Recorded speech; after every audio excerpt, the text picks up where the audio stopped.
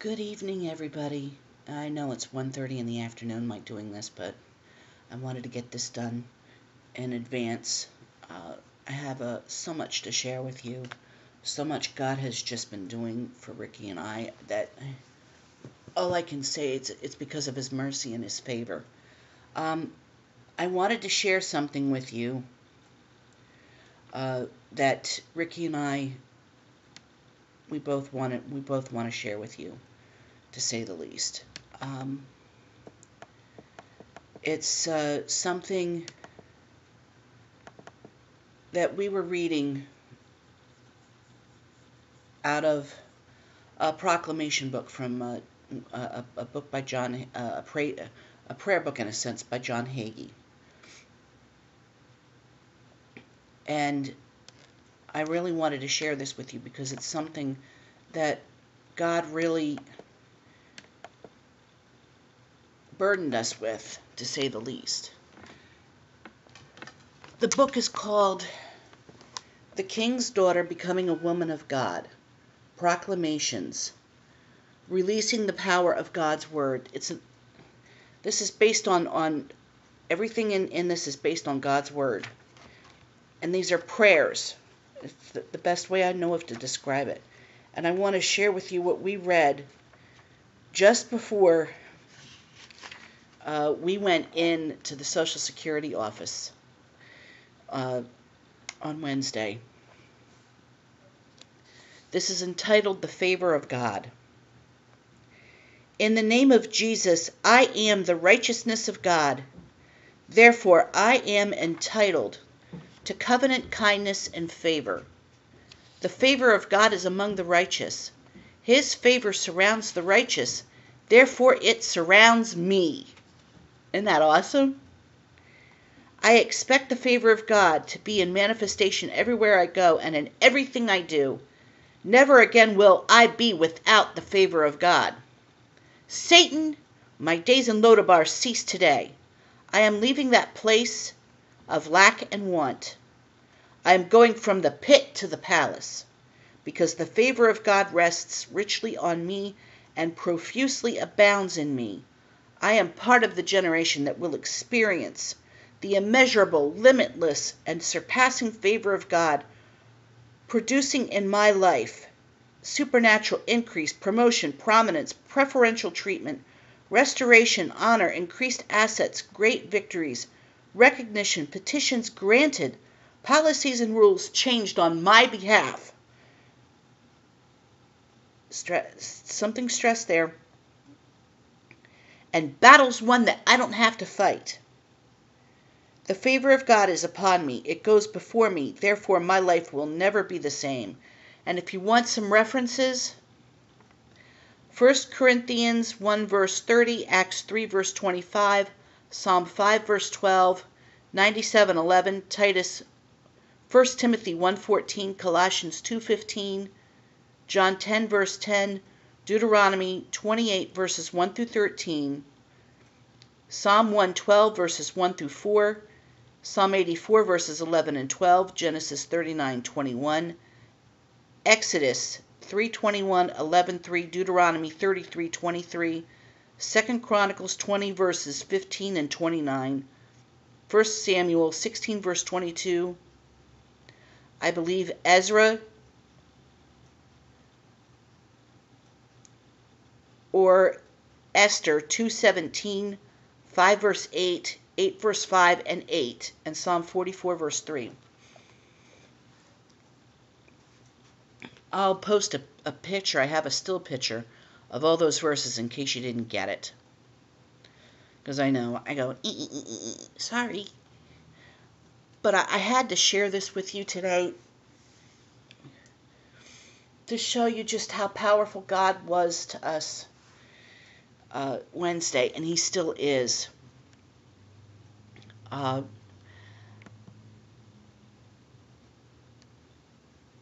we went in there. We weren't sure what was going to happen, but we, I knew I felt the presence of the Lord. I stepped out for a moment to go to the bathroom. I, I have a condition where I constantly have to go to the bathroom. And as I got back, I was made aware immediately the woman that was speaking with with Ricky concerning his Social Security case said, We're granting you this waiver. We're granting you this waiver. And that just flooded me with joy and relief. And I could see it in Ricky's face, too. And I was so grateful. I don't know how to say it. I was just absolutely grateful beyond anything. I was rejoicing, people. We were thanking this woman up and down. And she explained that and, and actually admitted that it was their fault concerning the overpayment because they were the ones that put the wrong information in and we were responding based on the information they gave us so therefore it wasn't our fault. She also she also found us some extra things uh, in our expenses that we didn't think we'd be able to declare. And that was, of all the ironies, our cable bill. It's a combination of cable, phone, and internet. Ricky considered it a luxury and didn't stick it in there. So she stuck it in there. She put it in and she pointed that out. And plus, she said, you spend a whole lot more than 300 and some dollars a month on groceries. She, she said that, you know, I'm sure of that. And, and she's probably right. But by, uh, we, we told her and she understood we were basing it on how much we, you know, uh, by, by the month. And I, I realized what she was saying too, that there's extras that we're, we're buying in. But bottom line, guys, and I want to share this with you. Bottom line, God was just so incredible to us. Just as incredible as He was in the life of Onesimus and putting him in Paul's path, which is a, a lot of what today's devotions are about. And if you want to go back to Sunday, this past Sunday, the, the, the vlog that I did, You'll see the whole message in great detail, but th- there was something interesting here how Paul is urging Philemon, who is the, the, the bearer of the name of this epistle. He's writing to this man who had come to know Christ. Please not only accept this young man back, not only forgive him and accept him back, but do something even better give him his freedom. He says, I find it very interesting how he says here, If thou count me therefore a partner, receive him as myself. I believe this is where Paul's asking Philemon, give him his freedom. Treat him like me. I'm a free man. So do, do the same for him. And he says, If he hath wronged thee or oweth thee aught, put that on mine account. I, Paul, have written it with mine own hand. I will repay it, albeit I do not say to thee how thou owest unto me, even thine own self besides. He was gently reminding, and this is where Paul's kind of like working Philemon over and giving him a good sell, like any used car dealer would. He's saying, just remember, I, I, I'm not going to bring this up, but remember, your salvation, remember, I led you to Christ and remember what you once were before you came to Christ. And he says, Yea, brother, let me have joy of thee in the Lord. Refresh my bowels in the Lord. Having confidence in thy obedience, I wrote unto thee, knowing that thou wilt do, that thou wilt also do more than I say. He's just saying, and, and this is such a thing, an example, a powerful example of Christ. Christ did that for us. He said, Put all, all your sins on me. he says, I paid the price for your sin. Accept me. Accept what I did. Accept my forgiveness. Confess what you've done to me. Admit it. Be willing to admit it. Confess it and repent of it. And accept me as your Savior. Let me come into your heart. Let me let me clean you up. You can't clean yourself up, but let me clean you up. And Paul was kind of reminding Philemon of this, and, and through all of this, this past, the, the last several weeks, especially doing the Time Warp Wife devotional on grace. I've been seeing God's grace and His mercy and His favor in my life and my whole family's life, especially this past Wednesday. And, and, I just have to praise God for it. I praise God for getting us through it and, and, getting me. I'm still not completely better. You can kind of tell by the sound of my voice. But God's just I know giving me is giving me healing right now, even as I'm talking with you. I praise God for how quiet today's been and peaceful. You know, with everything that that went on, I just I can't help but give God give God every last bit of glory for, for everything.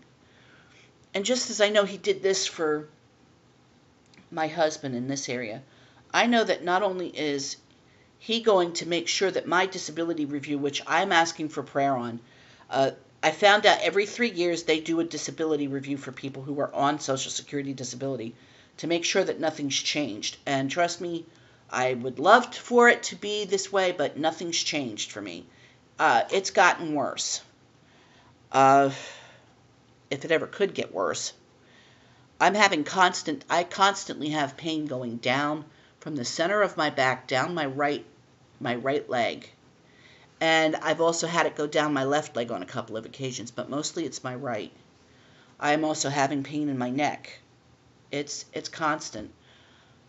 Uh, I can barely sleep at night. I, I have to, especially with how sick I've been with the cold, the chest cold. You know, being medicated sick is the only way I could, you know, be medicated, excuse me, is the only way I could been I've been able to sleep. I actually have some muscle relaxers that uh, I take very sparingly because I don't want to develop an addiction to it. But my pain is a constant is a constant seven, and it's something I know I'm never gonna I'm never gonna be able to get over. But you know what? I praise God. I'm here at least. But I'm having to take, you know, every measure I can to make sure that I have some form of comfort. But you know, it could be a lot worse, as I said before. Like I said, I, I see the favor of God as I've seen his favor on Ricky with the Social Security decision. And as I see how he is just moving and guiding, especially with Ricky's employment case, but also with the criminal matter of the drunk driver that hit my husband.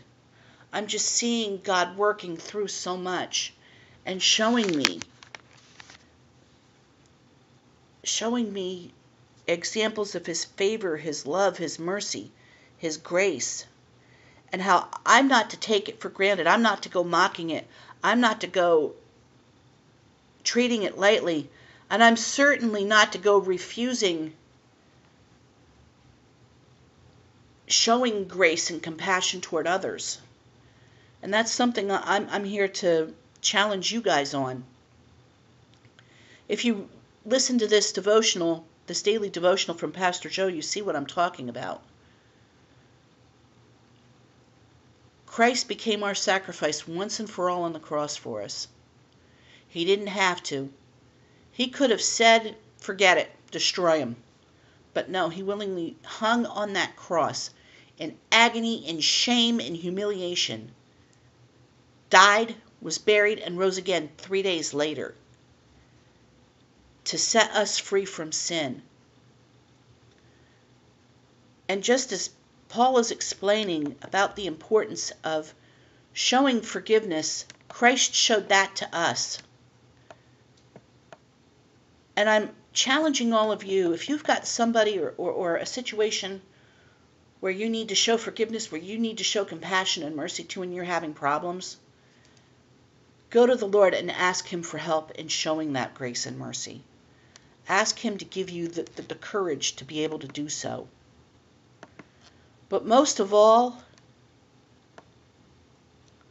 most of all, I am issuing a challenge to those who don't know Christ. Before I close this post, I've got a really important question to ask you guys, those of you that don't know Christ. You've heard this message. you've heard the fact that, that Christ did what he did for you. You, you know without a shadow of a doubt that you are a sinner, that you are separated from God because of your sin. The Greek word for it is hamartia, which means to miss the mark. We've all missed the mark, and the penalty for that is death, a spiritual separation from God. Romans 6:23 says, "For the wages of sin, the penalty, the payment for sin is death, but the gift of God is eternal life through Jesus Christ our Lord." Jesus himself said in his word in John 14 verse 6 that he's the only way to heaven. I know there are a lot of you out there that have been told otherwise, and you're probably thinking what I'm telling you is a bunch of garbage, it's too good to be true. And you probably think, oh, doing good things, going to church, doing this and that won't will save you, but no. You've been deceived. Only by placing your faith and trust in Jesus Christ and in his precious shed blood will you be set free from sin. And this is a free gift. All you have to do is admit that you're a sinner.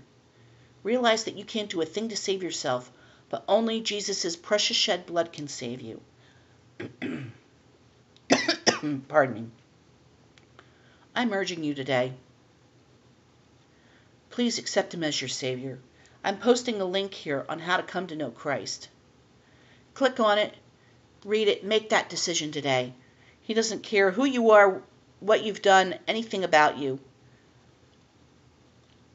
But He wants to know you. He wants you to know Him. So make that choice to accept Him today. And I urge all those too who are having trouble accepting God's forgiveness in their life for something because Satan's trying to put something out of your past in your face. Maybe he's using family members to bring up your past, to bring up something petty and stupid that you did to bring it up against you to make you feel like you're inferior, to try to put you down. I know, I've had that done to me. I've had family members bring up my past mistakes in my face. But you know what I tell them, and I hope they're hearing this. Guess what? All of that's been taken care of. It's under the blood of Christ. And I choose to accept that future for myself. And I choose to know that God has made me fearfully and wonderfully, and I'm not inferior in His eyes. So you can go stow it. And that's what you can tell those that are doing that to you. Believe it. I urge you, don't let Satan dictate your future, but let God. Know that you are forgiven, that you are His child. And if you're having problems accepting or forgiving someone, ask God to help you with this. Remember what I shared earlier with about Corrie ten Boom? Guys, allow him to enter into your heart to show you how to forgive someone. He said about forgiving 70 times 7. Ask him to help you. And he will, trust me. I've got to get going. I have a whole bunch to do. But I lift you all up in the name of the Lord on this awesome Friday. And I pray that God's favor shines on you. I want to kind of close with something. May the Lord bless and keep you. May the Lord make his face to shine upon you, be gracious unto you, and give you his peace. May you know his grace, his mercy, his forgiveness, his compassion always, and know that they never fail, they never run out. Amen as I said, got to get going. But I hope and pray you guys all have a wonderful Friday, a wonderful Friday evening. See you tomorrow. Bye.